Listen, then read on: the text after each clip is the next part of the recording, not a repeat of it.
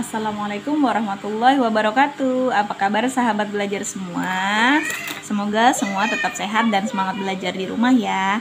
Hari ini Bu Dewi akan belajar bersama kalian perkalian bilangan 9 Perkalian bilangan 9 Menggunakan metode menggunakan metode jari matika. Wah penasaran? Ayo ikuti terus ya videonya Eh, contoh nomor satu adalah bilangan 3 dikali 9. Nah, siapkan jari-jari kalian. Nah, letakkan di atas meja lalu 3 dari kanan. 1, 2, 3. Bilangan 3 dari kanan, jari 3 dari kanan itu kalian lipat.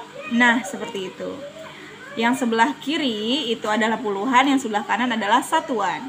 Maka 2 dengan 7, 27. Boleh langsung diisi teman-teman. 27. Ini sangat mudah. Selanjutnya coba 4 dikali 9. Coba teman-teman praktekkan sendiri ya. Bareng ya kita belajar di rumah ya.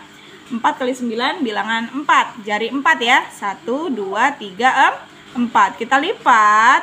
Nah, berapa yang kiri? 3, yang kanan 6. Jadi 30 6, 36, 36. Ini perkalian 9 ya teman-teman.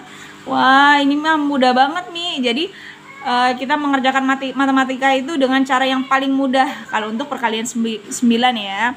Coba lagi 7 dikali 9. Coba kalian uh, praktekkan lagi.